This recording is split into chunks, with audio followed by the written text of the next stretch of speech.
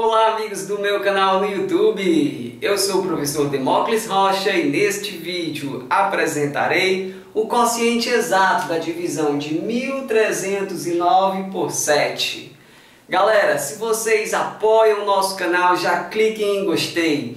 Inscreva-se no canal e acione o sininho de notificações se você quiser ficar sabendo dos nossos próximos lançamentos.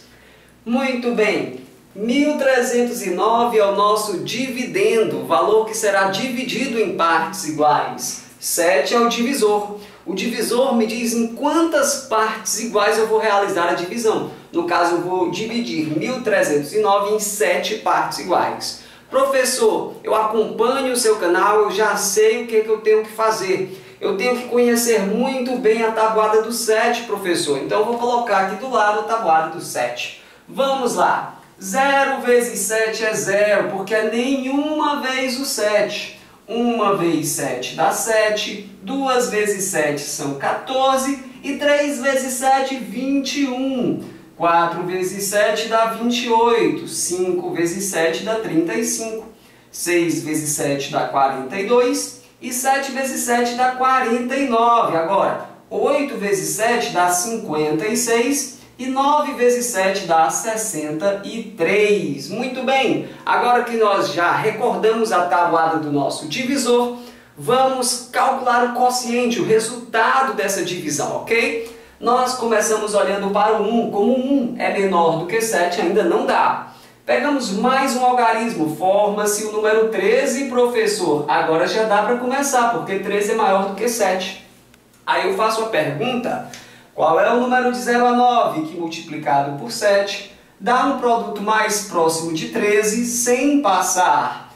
Professor, como não pode passar, então esse número é o 1, professor. É mesmo. 2 vezes 7 dá 14. 14 é perto de 13, só que 14 passa, não pode passar. Então quem fica no quociente é mesmo o 1. 1 vezes 7 é 7, eu escrevo 7 bem aqui e realizo uma subtração. Professor, essa subtração aí eu não sei quanto que dá não, professor. Calma, nós vamos conseguir fazer.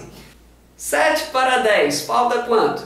7 para 10 faltam 3, ó. 7, 8, 9, 10. E 10 para 13, falta quanto? Falta 3 também, 10, ó. 11, 12, 13. Então, 3 mais 3, 6. Então, 7 para 13, falta 6. Eu posso escrever 6 bem aqui, ok? Muito bem, depois de uma subtração, o próximo passo é baixar o algarismo que vem em seguida. Vou baixar aqui esse zero, forma-se que número? O número 60. Depois de baixar um algarismo, a gente sempre faz a perguntinha.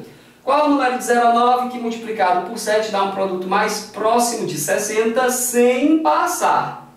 Professor, como não pode passar, olho para a tabuada e vejo que esse número é o 8. 8 vezes 7 dá 56. Escrevo 8 no quociente e 56 abaixo do 60 e realizo uma subtração. Essa subtração é moleza, vou fazer completando de novo. 56. Falta quanto para chegar em 60? 56. 57, 58, 59, 60. Falta 4 para 60. Então, 60 menos 56 é 4 até porque 56 mais 4 dá 60.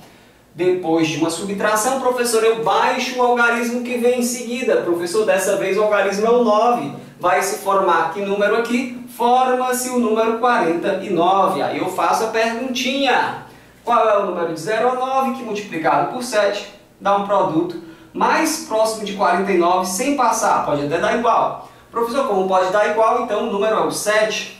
7 vezes 7 é igual a 49. 7 vezes 7 é igual a 49. Escrevo 49 bem aqui e realizo uma subtração. Agora essa é a mais fácil de todas, hein? 49 tira 49, não sobra mais nada, zero.